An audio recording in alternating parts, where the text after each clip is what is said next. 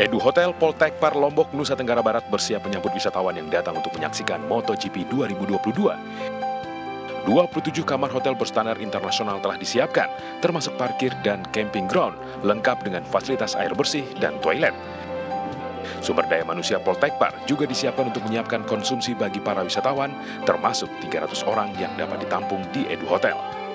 Kami menyiapkan SDM untuk Royal Box, karena ada VIP Village yang akan disiapkan dan kami sudah diminta untuk menyiapkan SDM-nya sebagai um, para pendukung yang nanti akan bertugas di VIP Village dan juga di Royal Box.